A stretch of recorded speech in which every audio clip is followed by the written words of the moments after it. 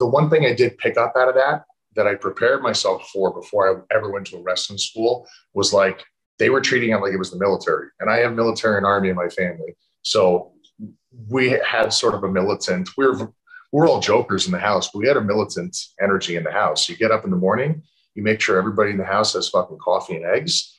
Uh, you keep it positive in the morning and um, you know, you train hard and you know, if your mother or your grandmother happens to cook dinner, uh, no one's asking you to get up after, but you get your ass in the kitchen, you clean the dishes for her. And like that was just how I grew up. So, like, I kind of came into a wrestling school trying to understand before I got there the etiquette and the commitment that they were going to be looking for. Like, I'll never forget that one time it was on an episode where Triple H walked in and he just told people the way it was going to fucking be.